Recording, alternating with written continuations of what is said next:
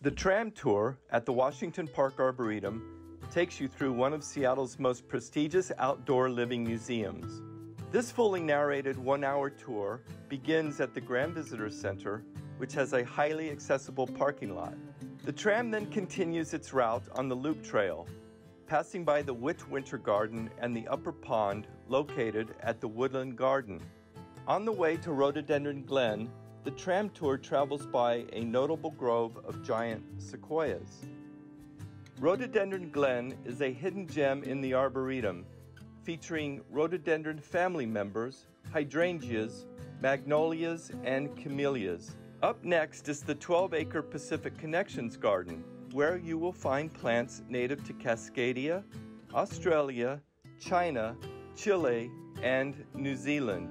The tram then turns onto the iconic Azalea Way, a one mile promenade featuring azaleas and flowering cherries.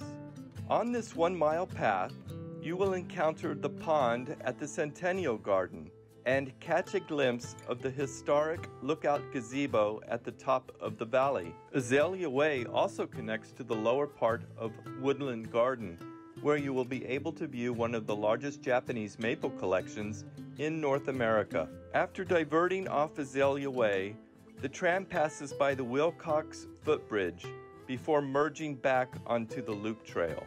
The Arboretum tram is currently operating. To book your tour, visit the tram tour page on the University of Washington Botanic Gardens website. We look forward to seeing you on the tram.